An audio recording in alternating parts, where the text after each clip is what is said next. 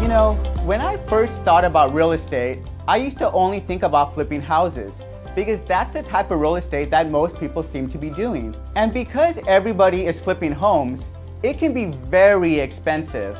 And also, the profits seem to become smaller and smaller as more and more people are doing it.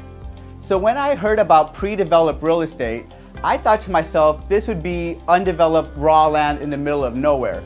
But after attending an RTA presentation, I was pleasantly surprised to find out that pre-developed real estate is actually a niche inside of commercial real estate, which is commercial land with infrastructure next to existing developments in an area of high growth with more plans to come.